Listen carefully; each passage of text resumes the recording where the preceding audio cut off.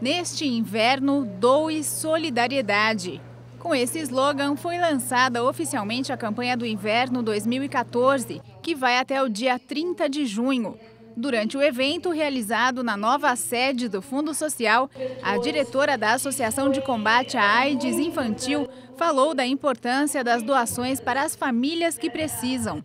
No ano passado, a entidade recebeu agasalhos para quase 70 crianças. Ligaram para a gente, para a gente estar tá, uh, vindo buscar uh, uma caixa de, de agasalho. Uh, foi uma surpresa. Quando nós chegamos no Fundo Social, eram quatro caixas enormes né, que foram doadas. Então, isso para nós foi muito importante.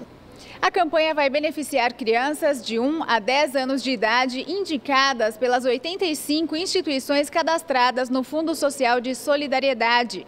Este ano, a campanha deve atingir pelo menos 3.500 famílias. Em 2013, a campanha do inverno entregou mais de 5.300 cobertores novos mais de 5 mil conjuntos de moletom novos e aproximadamente 55 mil agasalhos diversos em boas condições de uso.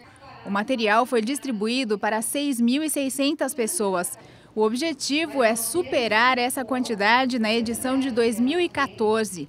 Segundo a primeira-dama e presidente do Fundo Social, até o momento foram firmadas parcerias com 15 empresas e instituições locais que vão colaborar na arrecadação.